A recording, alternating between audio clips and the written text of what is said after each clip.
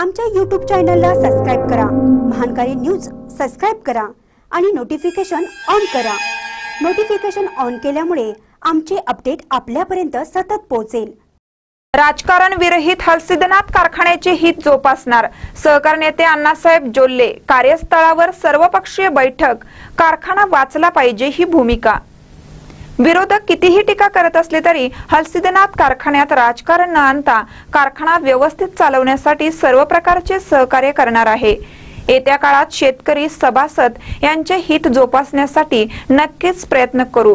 येत्या काळात चंद्रकांत कोठीवाले यांच्या नेतृत्वात एक हाती सत्ता दिल्यास कारखाना आदर्श बनवून दाखवू असे आश्वासन सहकार नेते अण्णासाहेब जोल्ले यांनी दिले.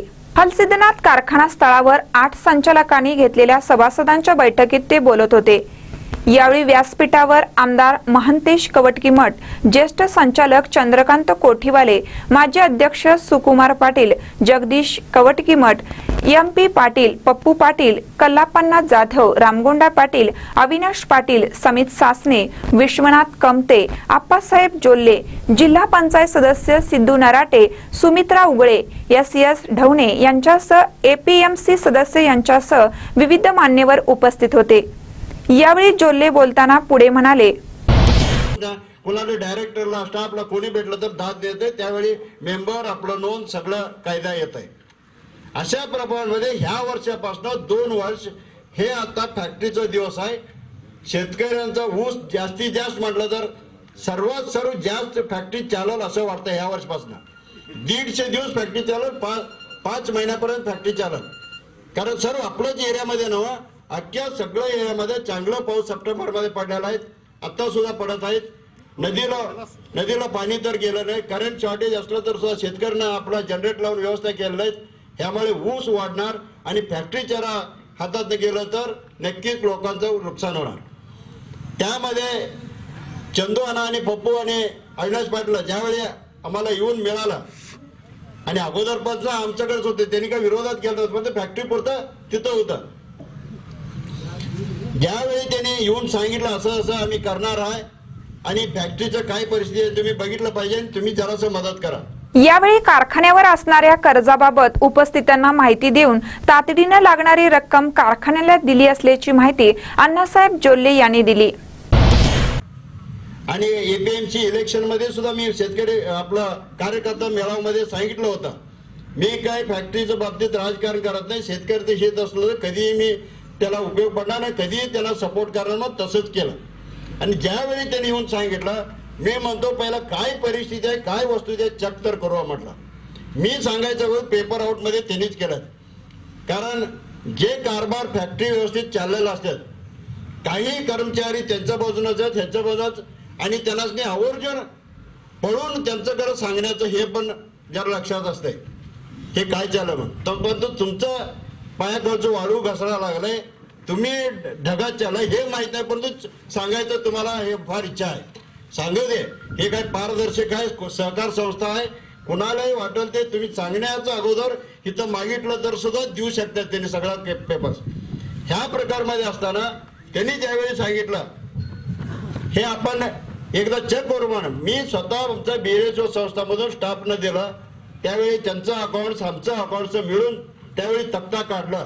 यावेळी महांतेश कवटगीमठ यांनी संस्थापक कैलासवाशी बाबूराव बुद्धिहाळकर यांनी ठेवलेलं उद्दिष्ट कायम ठेवत अण्णासाहेब जोल्ले यांनी कारखान्याला मदत केली असून कारखाना पुढील काळात नक्कीच एक आदर्श बनेल असा विश्वास व्यक्त केला. ती जमीन असून आमचं शेवढं सगळे शेतकरी चांगले असून सुद्धा हा कारखाना चांगलं चाललं नाही. हे फार म्हणजे चिंताजनक विषय आहे. ಇಂಥ ಒಳ್ಳೆಯ ಸಂಸ್ಥೆ ಇದ್ರೂ ಸಹಿತ ಇದನ್ನ ವ್ಯವಸ್ಥಿತವಾಗಿ ಸಂಸ್ಥೆ ನಡೀಲಿಲ್ಲ ಅಂತಕ್ಕಂಥ ಮಾತನ್ನ ಈ ಸಂದರ್ಭದಲ್ಲಿ ಹೇಳಿ. ಚಂದೋಣ್ಣ ಬಹಳ ಎಮೋಷನಲ್ ಆದ್ರು ಇಷ್ಟು ಎಮೋಷನಲ್ ಅವ್ರು ಯಾವಾಗೂ ಆಗಿದ್ದನ್ನ ನೋಡಲಿಲ್ಲ. ಇವತ್ತು ಈ ಸಕ್ಕರೆ ಕಾರ್ಖಾನೆ, ಮಾದರಿ ಸಕ್ಕರೆ ಕಾರ್ಖಾನೆ ಆಗಬೇಕಾಗಿದೆ. ಬೂದಿಯಾಳ್ಕರ್, ಬಾಬುರಾವ್ ಬೂದಿಯಾಳ್ಕರ್ ಅವರು ಗಡಿ ಭಾಗದಲ್ಲಿ. शेतकऱ्यांना शेतकऱ्यांच्यासाठी हा संस्था त्यांनी उभं केलेले त्यांचं वाचवण्याचं काम आम्ही सर्वजण अण्णासाहेबांना जोडले आणि सर्व नेते मंडळी प्रभाकरांना कोरे अण्णांचं नेतृत्वाखाली ते कारखान्याचं वाचवण्याचं आम्ही काम करूया. मी अण्णासाहेबांना सुद्धा म्हणत होतो एवढं कर्ज बाजार असताना साखर कारखान्याला चालवायचा विचार कसं मनात घेतला म्हणून त्यांनी सांगितले हा भागाचा शेतकऱ्यांच्या हितासाठी मी हे कारखाना चालवण्याचा ठामपणे निर्णय घेतलाय म्हणून सांगितलंय. ಮತ್ತು ಹಿಂದಿನ ಅಧ್ಯಕ್ಷರ ಬಗ್ಗೆ ಬಹಳ ವಿಷಯ ಮಾತಾಡಿದರು. ಏನಾಗಿದೆ ಅವ್ರ ಬಗ್ಗೆ ಅಂದ್ರ, ಪಪ್ಪು ಅಣ್ಣ ಮತ್ತು ಚಂದು ಅಣ್ಣ ಕೂಡ ಅವ್ರನ್ನ ಬಹಳ ದೊಡ್ಡವ್ರು ಮಾಡಿದರು. ನಾ ಇಷ್ಟದ ಬಹಳ ಹೇಳಕ್ ಹೋಗೋದಿಲ್ಲ. ಅವ್ರ ಬಗ್ಗೆ ಗುರುತು ಮಾಡ್ಲಿಕ್ಕೆ ನಿಮಗೆ ಬಹಳ ತಡ ಆಗೈತಿ.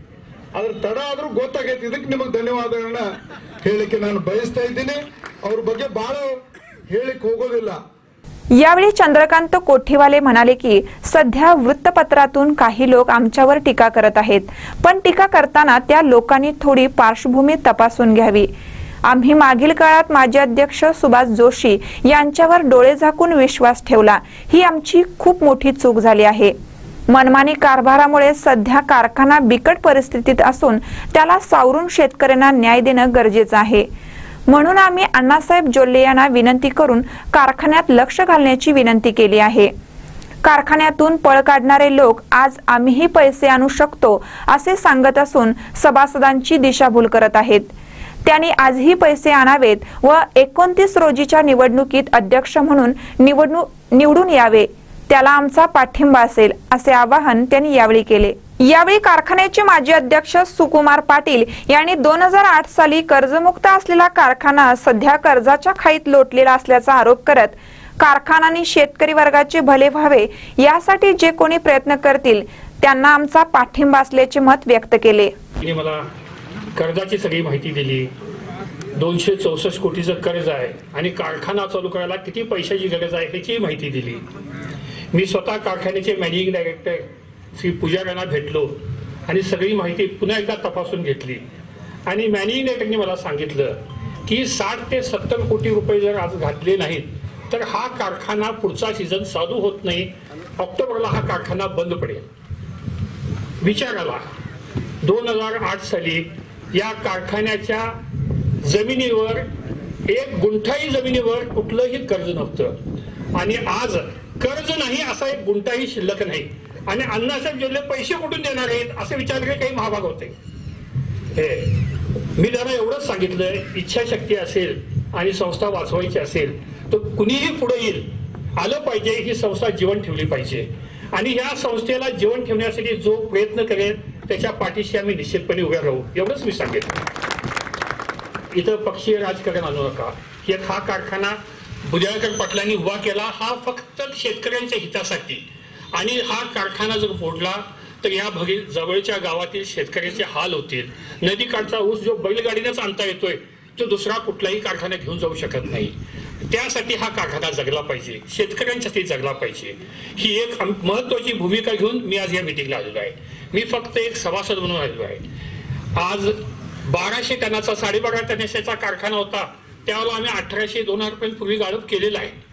पण आज साडेतीन हजार टनाचा कारखाना होऊन देखील हा कारखाना तीन हजार सव्वा तीन हजारला गेला की प्रॉब्लेम या चालू झालाय. मला फक्त सर्वांना विनंती आहे संचालक मंडळांना तुम्ही सर्व काय घडलेलं आहे याचं आत्मपरीक्षण करावं. काही मशिनरी त्रुटी असल्या तरी त्या दुरुस्त करावं. आणि हा कारखाना चार हजार टना चार हजार पर्यंत गाळप केली ह्याची दक्षता घ्यावी.